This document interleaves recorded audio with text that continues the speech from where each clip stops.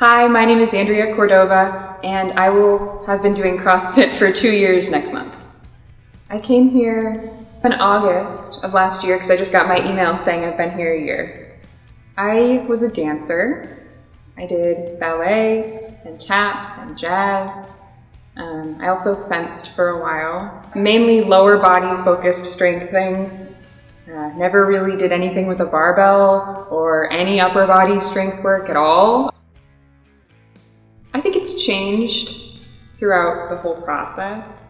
Um, I started in preparation for my wedding and my honeymoon. Um, I wasn't in it to lose the weight actually. I was more interested in getting healthy and we, I, we really wanted to do this hike on our honeymoon and I knew there was absolutely no way that I was going to be able to do it where I was, fitness wise.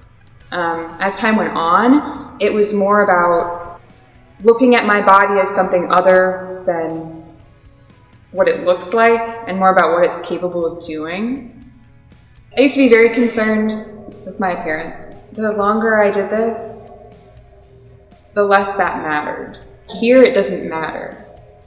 It's like, how much can I lift? Or how can I move my body to achieve whatever we're doing here? Um, and that has been honestly life changing. I love it here. Um, definitely the community is a big part to do with it. The community has a lot to do with it. It's comfortable. I tried out a few other gyms, also great, but I didn't feel comfortable there. Everyone here is kind and friendly and wants you to be here and wants you to succeed. And the programming is fun. It's not all competitive. It's what can you do right now? How can you get better? What can you do next time that will help you succeed and reach your goals?